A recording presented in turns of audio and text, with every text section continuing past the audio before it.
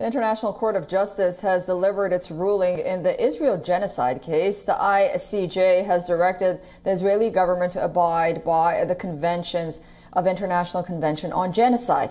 It has directed Israel to prevent loss of life, ensure no direct incitement of violence takes place against Palestinians and immediate provisions are made to ensure the delivery of aid. The ICJ, however, did not accept South Africa's call for an immediate suspension order for Israel's ongoing operations in Gaza. While ICJ's provisional order did not call for a ceasefire, its strong worded order is being seen as a condemnation of Israel's position. Starting the proceedings, Judge Donoghue mentioned that Hamas attacks on Israel that killed over 1,200 Israelis and other foreign nationals. She acknowledged the extent of human tragedy unfolding in the region and expressed concern about the continuing loss of life and human suffering.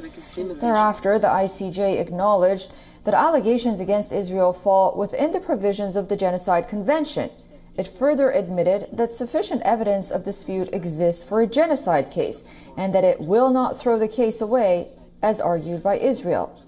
Out of the court's 17 judge panel, 16 judges were present in the session. The ruling did not specifically deal with the core accusations of the case, which is whether or not genocide has been committed by Israel. Instead, the provisional ruling focuses on the urgent intervention sought by South Africa. South Africa has brought the case accusing Israel of breaching the 1948 UN Genocide Convention. According to the Gaza health authorities run by Hamas, more than 25,000 people have died in the Gaza Strip since October. The real issue, all your questions are about Israel, but the real issue is the people of Palestine who are being killed every day. The people of Palestine who are sleeping in the cold the people of Palestine who are denied food, water, and energy. That is the critical issue that all of us should focus upon.